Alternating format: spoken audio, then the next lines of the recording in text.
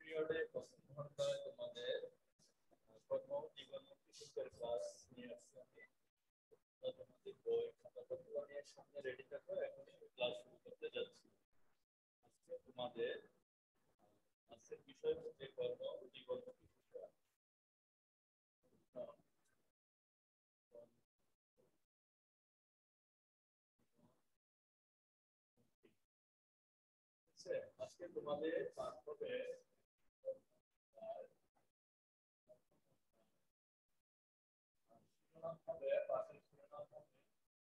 মেধা ও কায়িক শ্রম।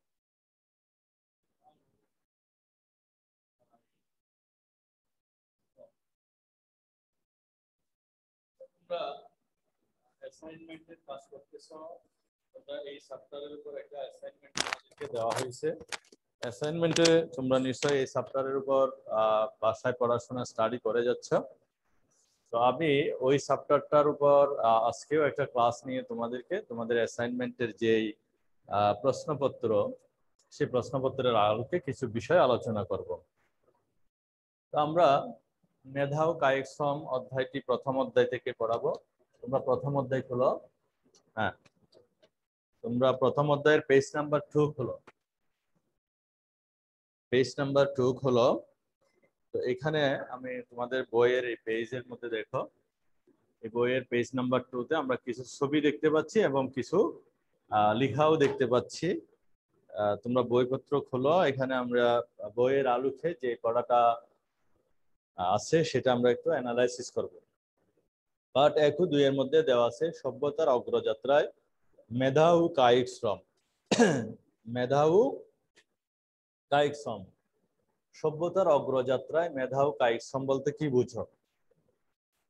সভ্যতার অগ্রযাত্রা বলতে বুঝি আমাদের যে সভ্যতা, সেই সভ্যতাটা আস্তে আস্তে পুরনো, সে আদিকাল থেকে আধুনিকতার দিকে এগিয়ে চলছে।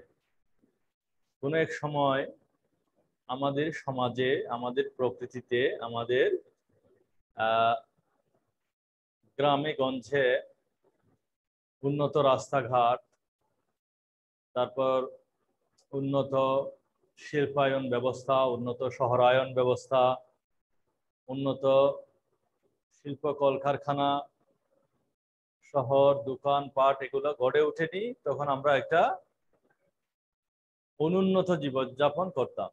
সেই সময়টাকে আমরা কখনো সভ্যতা বলতে পারতাম না। আস্তে আস্তে যখন আমাদের পরিবেশ প্রকৃতির এই বিষয়গুলো উন্নতির দিকে এগিয়ে চলছিল, তখন আমরা বলছি যে আমাদের বিশ্বটা সভ্যতার দিকে এগিয়ে চলছে। তবে এই সভ্যতাটা উন্নত হতে হতে একটা আধুনিক সভ্যতায় রূপান্তরিত হয়েছে। আমরা বলতে পারি যে আমাদের সমাজে, যে আমাদের পরিবেশ প্রকৃতির পুরনো যুগ থেকে পুরনো রূপ থেকে যে আধুনিক রূপে রূপায়িত হয়েছে, সেটাকে আমরা সভ্যতার অগ্রযাত্রা বলতে পারি। তো সভ্যতার অগ্রযাত্রায় আমাদের সভ্যতার অগ্রযাত্রা তৈরি হওয়ার পিছনে আমাদেরকে মধ্যে যে দুটি বিষয় কাজ করছে, সেটা হচ্ছে আমাদের মেধা এবং কায়িক শ্রম। তাহলে সভ্যতার অগ্রযাত্রার সাথে আমাদের মেধা এবং কায়িক শ্রমটা সম্পর্কযুক্ত রয়েছে। যদি আমরা কেবলমাত্র মেধা থাকতো, কায়িক শ্রম না করতাম, তাহলে এই সভ্যতা, অগ্রযাত্রা ঘটতো না। আবার যদি আমাদের শুধু কায়িক শ্রম থাকতো বাট মেধা থাকতো না, তাহলেও সভ্যতা কখনো অগ্রযাত্রা হতো না। তাহলে এই যে সভ্যতাটা এক পুরনো জরাজীর্ণ অবস্থা থেকে আধুনিক সভ্যতায় রূপান্তরিত হয়েছে, যে এক সময় আমরা দূর দূরান্ত হেঁটে পা, হেঁটে পায়ে হেঁটে পাড়ি দিতাম। সেই দূর দূরান্তের পায়ে হেঁটে যাওয়ার সময়টা এখন আমাদের কাছে সেকেন্ডের ব্যাপার। আমরা খুব অতি স্বল্প সময়ে যে কোনো জায়গায় অতিক্রম করছি। এক সময় আমরা দূর দূরান্তে খবরাখবর পৌঁছাতে আমাদের একটা চিঠি লিখতে হতো। সেই চিঠিখানা পৌঁছানোর ব্যবস্থা করতে করতে মাসখানেক সময় লাগতো। আস্তে আস্তে সভ্যতা অগ্রগতির দিকে যখন আগাচ্ছিল, সেই সময়টা কমে আসছিল। কমে আস্তে আস্তে মাসখানেক থেকে পনেরো দিন, এরপরে এক সপ্তাহ সময় লাগতো। কিন্তু আধুনিক সভ্যতায় এখন আমরা একটা মেসেজ পাঠাতে মাত্র এক সেকেন্ড সময় লাগে। চিন্তা করো যে বিজ্ঞানের কারণে মেধা এবং কায়িক শ্রমের উন্নতির ফলে মেধা এবং কায়িক শ্রমের যথাযথ প্রয়োগের ফলে আমাদের সভ্যতা সুদূর এগিয়ে গিয়েছে। আমাদের সেই পুরনো জরাজীর্ণ সভ্যতা এখন আর নেই। আমরা এখন আধুনিক সভ্যতার নাগরিক এবং এই আধুনিক সভ্যতা বা যে সভ্যতার অগ্রযাত্রা, সেটা ফুললি নির্ভর করছে, পরিপূর্ণভাবে নির্ভর করছে আমাদের মেধা এবং কায়িক শ্রমের উপর। তাহলে শিক্ষার্থীরা, তোমরা আশা করি তোমাদের পার্ট ওয়ান এবং টু এর মধ্যে সভ্যতার আগ্রযাত্রায় মেধা এবং কায়িক শ্রম নামের যে শিরোনামটি আমরা দেখতে পাচ্ছি সেখানে সভ্যতার অগ্রযাত্রার সাথে মেধা ও কায়িক শ্রমের যে সম্পর্ক, সেটা আশা করি তোমরা রিলাইজ করতে পেরেছ, তোমরা উপলব্ধি করতে পেরেছ। সভ্যতার অগ্রযাত্রা কথাটা যখন আমাদের মনে পড়ে, তখন নিশ্চয় তার পিছনে একটা অবদান আছে। সেটা কার অবদান? সেটা হচ্ছে আমাদের যে বিশ্ব সভ্যতার যে প্রাণী বা মানুষ আমরা, যে বিশ্ব সভ্যতার যে আমরা ধারক, যে নাগরিক, যে অধিবাসী, যে আমাদের মেধা এবং আমাদের শ্রম, এই দুইটার কারণে আমরা কি করেছি? যে সভ্যতাটা অগ্রযাত্রার মধ্যে নিয়ে এসেছি। এখন আমরা মেধা এবং কায়িক শ্রম বিষয়টা নিয়ে একটা এক্সপ্লেনেশন করতে চাই। যে মেধা জিনিসটা কি? যে আমরা হচ্ছে আশরাফুল মাখলুকাত। আল্লাহ আমাদেরকে বলেছেন যে মানুষ হচ্ছে আশরাফুল মাখলুকাত। আল্লাহ বলছেন কি? যে আমি পৃথিবীতে যত জীব সৃষ্টি করেছি তার মধ্যে মানুষ হচ্ছে সর্বশ্রেষ্ঠ জীব। কেন তারা আশরাফুল মাখলুকাত বা সর্বশ্রেষ্ঠ?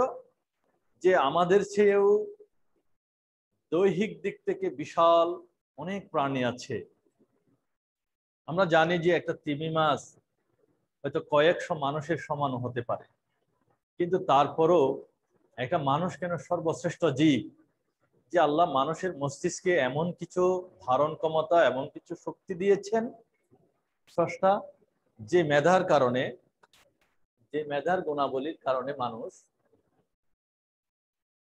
হ্যাঁ যে মেধার কারণে বা মেধার গুণাবলীর কারণে মানুষ সেই বিশাল আকার প্রাণীর থেকে উন্নততর কিছু করতে পারে। অর্থাৎ মানুষের মস্তিষ্কে যে পরিকল্পনা করার ক্ষমতা দিয়েছেন স্রষ্টা, সেই বুদ্ধিভিত্তিক এই গুণটির কারণে আমরা আশরাফুল মখলুকাত, অর্থাৎ সৃষ্টির শ্রেষ্ঠ জীব। তাহলে মেধা হচ্ছে আমরা আমাদের মস্তিষ্কে কোনো কিছু পরিকল্পনা করা, কোনো কিছু সমস্যাগুলোকে চিহ্নিত করে পরিকল্পনা মোতাবেক সেই সমস্যাকে উত্তরণ ঘটিয়ে সমাধানের দিকে এগিয়ে যাওয়ার যে ক্ষমতা, যে বুদ্ধিবৃত্তিক ক্ষমতা আমাদের মধ্যে রয়েছে, সেটা হচ্ছে আমাদের মেধা। তাহলে মেধা আছে বলে আজ আমরা উন্নততর জীবনযাপন করছি। আমরা সভ্যতার অগ্রযাত্রার ধারক ও বাহক হয়েছি। আমরা আজ উন্নত রাস্তাঘাট, উন্নত শিল্প কারখানা কলকারখানা, স্কুল, কলেজ, বিশ্ববিদ্যালয় প্রতিষ্ঠা করেছি। এই সব কিছু আমাদের মেধার অবদান। এই সব কিছু আমাদের মেধার ফলাফল। তো শিক্ষার্থীরা, মেধা জিনিসটা অ্যাকচুয়ালি তোমরা বুঝতেই পেরেছ। মেধার সাথে আবার কায়িক শ্রমের একটা সম্পর্ক আছে।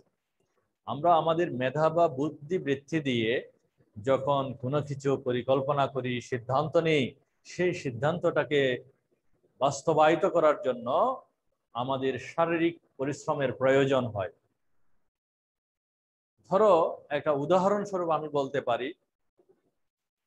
আমরা একটা পরিকল্পনা করেছি আমাদের এই বিদ্যালয়ের মাঠটাতে প্রচুর পরিমাণ বর্ষাকালে পানি জমে যায়। হ্যাঁ এই যে পানি কেন জমে যায়, সেই বিষয়টা আমরা আমাদের মেধাশ্রম দিয়ে, বুদ্ধিবৃত্তি দিয়ে আমরা উদ্ঘাটন করার চেষ্টা করছি। ফলে আমরা দেখতে পেয়েছি যে এখানে মাঠটা অন্যান্য আশেপাশের জায়গার তুলনায় নিচু, যার কারণে বৃষ্টিপাতের পানি চতুর্দিক থেকে গড়িয়ে মাঠে এসে ভর্তি হয়ে যায়, তাই মাঠটি বৃষ্টির পানিতে ভরে যায়। এটা আমরা আমাদের মস্তিষ্কের যে মেধা শক্তি সেটা দিয়ে আমরা ফাইন্ড আউট করেছি। তাহলে এটা আমাদের মেধা বা পরিকল্পনার একটা পরিচয়। সেই মেধা অনুযায়ী এবার আমরা সিদ্ধান্ত নিয়েছি যে কীভাবে আমরা এই সমস্যা থেকে উত্তরণ করতে পারি। সেটাও আমরা আবিষ্কার করেছি আমাদের মেধা শক্তি দিয়ে। যে আমরা আরও সিদ্ধান্ত নিয়েছি যে এই মাঠটাকে আমরা যদি বিভিন্ন জায়গা থেকে মাটি এনে, বালি এনে, কাকর, বালি, ইট, মাটি কাঠ পাথর দিয়ে যদি আমরা ভরাট করে উঁচু করে দিই, তাহলে আমাদের এই সমস্যাটা আর থাকবে না। সেটাও আমাদের একটা বুদ্ধিভিত্তিক বা মেধার পরিচয়। আমরা এখন সমস্যাও চিহ্নিত করেছি, সমাধানের উপায়ও চিহ্নিত করেছি। এগুলো হচ্ছে আমাদের মেধার বা বুদ্ধিভিত্তিক আমাদের বুদ্ধিভিত্তিক প্রক্রিয়ার ফলাফল। এবার আসবে আমাদের সে বাস্তবায়নের জন্য কায়িক শ্রম। আমরা সিদ্ধান্ত নিয়েছি আমাদের এই সমস্যা থেকে উত্তরণ করার জন্য আমাদেরকে বিভিন্ন দূর দূরান্ত থেকে, আশেপাশের জায়গা থেকে, যেখানে পর্যাপ্ত পরিমাণ মাটি, বালি হ্যাঁ পাথর, চূর্ণ পাওয়া যায়, সেখান থেকে আমাদেরকে ওই মেটেরিয়ালস বা পদার্থগুলো এনে ওই মাঠটা ভরাট করতে হবে। এখন আমরা যদি বসে থাকি, চুপচাপ বসে থাকি, আমরা যদি আমাদের শারীরিক অঙ্গ প্রত্যঙ্গকে কাজে লাগিয়ে সেই মাটি বালি বা কাকর পাথর চূর্ণ আনার ব্যবস্থা না করি, তাহলে আমাদের মেধার যে ফলশ্রুতি, সেটা আমরা কখনো ভোগ করতে পারছি না পারছি না। তো আমরা যে আমাদের যে মেধা রয়েছে, সেই মেধা দিয়ে বা আমাদের বুদ্ধিভিত্তিক দিয়ে আমরা আমাদের সমস্যাগুলোকে চিহ্নিত করার পর আমরা যখন সেই সমস্যাটাকে উত্তরণের উপায়ও খুঁজে বের করি, তখনই আমাদের কায়িক শ্রমের প্রয়োজন হয়ে যায়। প্রয়োজনীয়তা অটোমেটিক্যালি স্বয়ংক্রিয়ভাবে চলে আসে। সেই বাস্তবায়ন দেখার জন্য আমাদেরকে কায়িক শ্রমের প্রয়োজন হয়। কায়িক শ্রম অবশ্যই যিনি মেধা দিয়ে বুদ্ধিভিত্তিক দিয়ে কাজ করেন কায়িক শ্রমের কাজটা হয়তো তিনি নাও করতে পারেন। তিনি কায়িক শ্রমের কাজটা যার মেধা নাই তাকে দিয়ে করাতে পারেন। অথবা এমন ব্যক্তিও থাকতে পারে, তিনি তার মেধাও প্রয়োগ করেছেন কায়িক শ্রমও প্রয়োগ করেছেন, দুটিই প্রয়োগ করতে পারে। আবার কোনো কোনো ক্ষেত্রে কোনো ব্যক্তি যদি তার মেধা বা বুদ্ধিবৃত্তি দিয়ে একটা সমস্যা চিহ্নিত করেন এবং সমস্যা সমাধানের, সমস্যা থেকে উত্তরণের উপায় খুঁজে বের করেন, তো আরেকজন ব্যক্তি তার কায়িক শ্রম দিয়ে সেই সমাধান বাস্তবায়ন ঘটাতে পারে। তাহলে যে আরেকটা বিশেষ ব্যক্তি বা যে বিশেষ দল, সেই মেধার সেই বুদ্ধিভিত্তিক চিন্তাধারার বাস্তবায়ন করার জন্য বিভিন্ন জায়গা থেকে তার শরীরের অঙ্গ প্রত্যঙ্গ ব্যবহার করে মাটি, বালি ইত্যাদি এনে মাঠটাকে ভরাট করার কাজে নিয়োজিত থাকবেন, তাদেরটা হচ্ছে কায়িক শ্রম। অর্থাৎ আমরা কায়িক শ্রম বলতে বুঝি, আমরা যখন কোনো সমস্যা সমাধান করার জন্য আমাদের দেহের অঙ্গ প্রত্যঙ্গে কাজে লাগিয়ে আমরা কাজ সমাধান করি, কাজ সম্পাদন করি, তখন এই প্রক্রিয়াকে কায়িক শ্রম বলা হয়। অর্থাৎ যখন আমরা কোনো আমাদের চিহ্নিত সমস্যা থেকে উত্তরণ হওয়ার জন্য চিহ্নিত সমস্যাকে সমাধান করার জন্য আমরা যখন আমরা যখন কোনো শরীরের অঙ্গ প্রত্যঙ্গ ব্যবহার করে শারীরিক শ্রমের বিনিময়ে আমরা কাজ সম্পাদন করি, তখন সেটাকে বলা হয় কায়িক শ্রম। তাহলে চলো শিক্ষার্থীরা আজকের যে এখন বর্তমানে যে আমাদের পঞ্চম অ্যাসাইনমেন্ট চালু রয়েছে, যে পঞ্চম অ্যাসাইনমেন্টে আমরা কিছু মেধা ও কায়িক শ্রমের মধ্যে প্রশ্ন নিয়ে আমরা কাজ করতেছি। নিশ্চয় তোমরা জানো, তোমাদের হাতে প্রশ্নপত্রটা রয়েছে। তো তোমরা নিশ্চয় জানো যে ওখানে চারটি প্রশ্নের উপর তোমাদেরকে কাজ দেওয়া হয়েছে। সেই চারটি প্রশ্নের একটা প্রশ্ন হচ্ছে যে বিদ্যালয়, বিদ্যালয়ের পাঠাগারে শিক্ষার্থীরা লেখাপড়া করছে। বিদ্যালয়ের শিক্ষার্থীরা ক? বিদ্যালয়ের শিক্ষার্থীরা শিক্ষার্থীরা পাঠাগারে পড়াশোনা করছে। হ্যাঁ বিদ্যালয়ের শিক্ষার্থীরা পাঠাগারে লেখাপড়া করছে। হ্যাঁ পাঠাগারে লেখাপড়া করছে।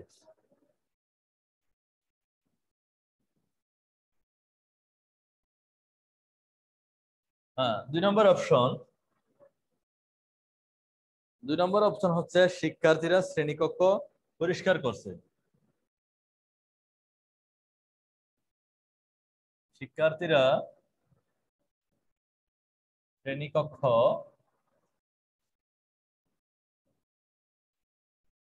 পরিষ্কার করছে। তিন নম্বর অপশন হচ্ছে শ্রেণীতে শিক্ষক পাঠদান করছেন। শ্রেণীতে শিক্ষক পাঠদান করছেন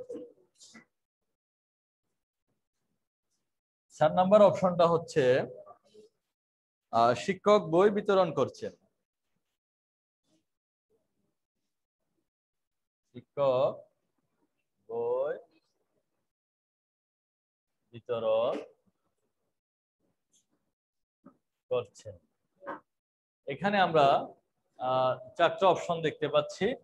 এই চারটা অপশনের মধ্যে প্রথম অপশনটা হচ্ছে বিদ্যালয়ের শিক্ষার্থীরা পাঠাগারে লেখাপড়া করছে। আচ্ছা শিক্ষার্থীরা, আমি তোমাদেরকে প্রশ্ন রাখব। যারা আমাদের লাইভ ক্লাসে অংশগ্রহণ করছে, তাদের উদ্দেশ্যে বলছি, এখানে অনেকে ভিডিও সবাই কিন্তু ভিডিও অফ করে রেখেছো।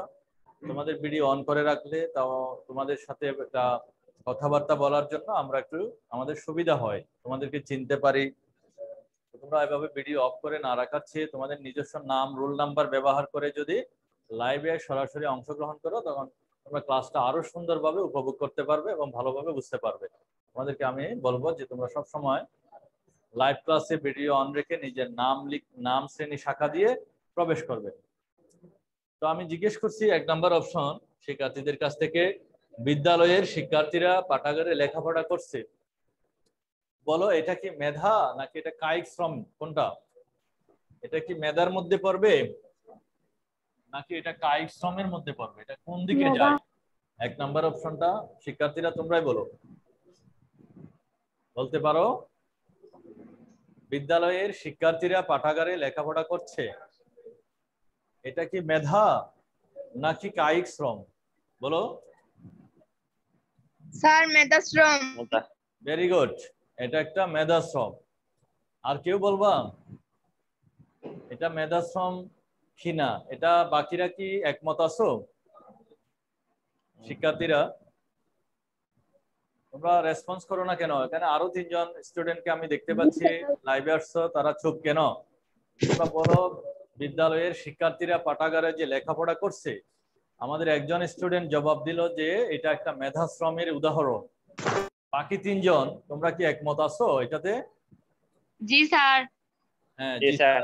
জি স্যার আর আরেকজন বাকি জন অবশিষ্ট জন থেকে আমি শুনতে চাই। আমি তিনজনের রেসপন্স পেয়েছি। যে বিদ্যালয়ের শিক্ষার্থীরা পাঠাগারে লেখাপড়া করছে চতুর্থ জন বলো এটা কি মেধাশ্রম না কায়িক শ্রম?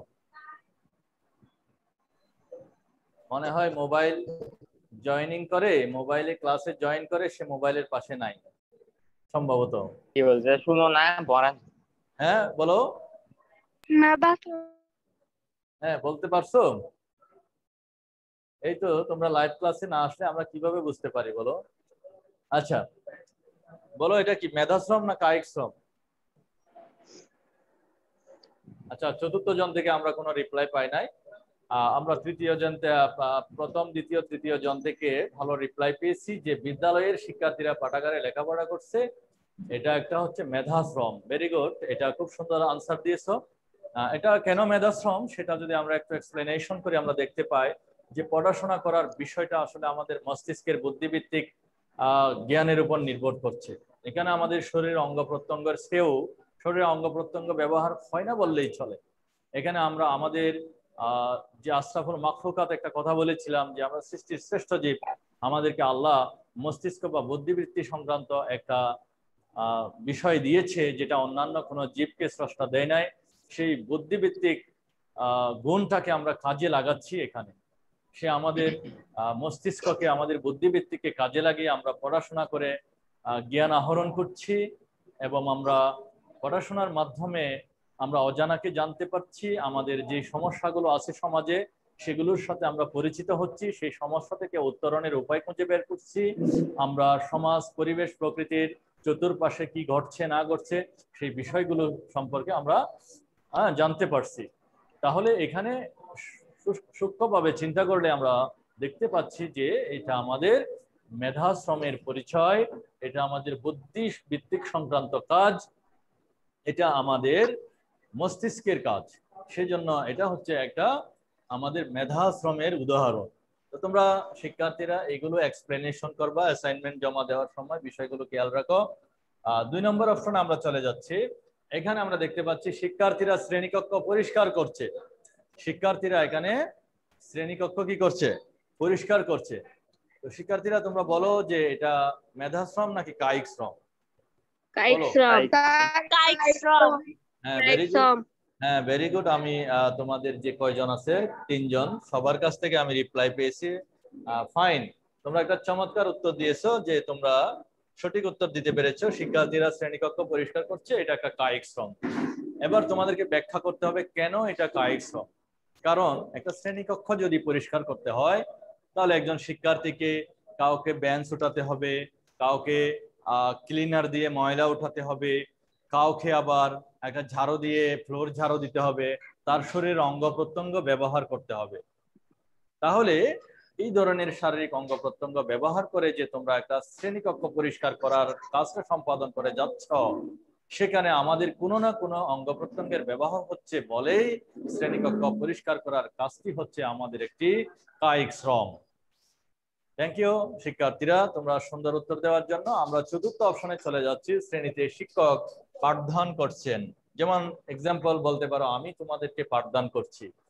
এই যে পাঠদান করছি, যে আমি পাঠদানের পিছনে আমার বুদ্ধিভিত্তিক কোন মস্তিষ্কের প্রয়োজন হচ্ছে কিনা, বলো তো তোমরা।